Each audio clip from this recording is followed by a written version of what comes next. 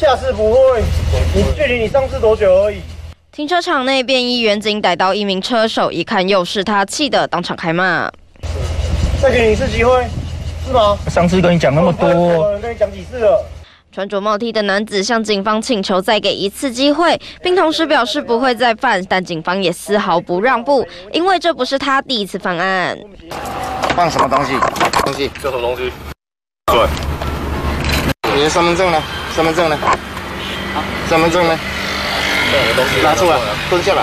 连续两次都是抓到同一人，而且都是被派出所同一名员警抓到，因此对他相当熟悉，才放出来一天，马上又犯案。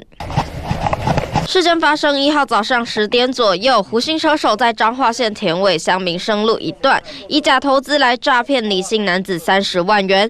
警方趁其交易时逮人，但其实胡姓嫌犯早在七月二十九号在彰化县自强路上跟另一名何姓被害人交易二十万元，被当场抓包。七月三十号才刚交保，隔了一天马上又出来犯案。两名员警傻眼，三天内抓两次，气得跟骂小孩一样骂人，怎么抓都。抓不怕，以假投资诈骗另一名被害人面交新台币三十万元，又遭园林分局林厝派出所同一员警查获，并查获身上携带投资公司收据及工作证。